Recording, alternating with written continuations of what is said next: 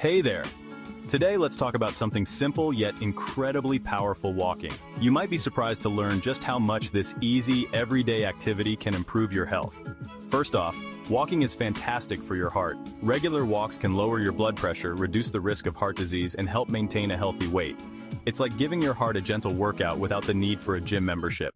Next, let's chat about your joints. Walking is a low-impact exercise, which means it's easy on the joints while still keeping them active and flexible. This is especially important as we age, helping to stave off stiffness and arthritis. But wait, there's more. Walking can also do wonders for your mental health. Taking a stroll in nature or even around your neighborhood can reduce stress, improve your mood, and even enhance your cognitive function. It's like a mini vacation for your mind. Now you might be thinking, how much walking do I need? The great thing is, every little bit counts. Start with what feels comfortable. Even just 10 minutes a day can make a difference. Gradually build up to 30 minutes a day, and you'll be reaping substantial benefits. And here's a tip. Make walking enjoyable. Listen to your favorite music, a podcast, or even walk with a friend. The more fun it is, the more likely you are to stick with it. So, why not lace up those walking shoes and give it a try?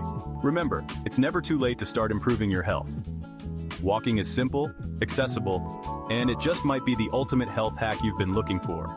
Thanks for watching, and here's to your health.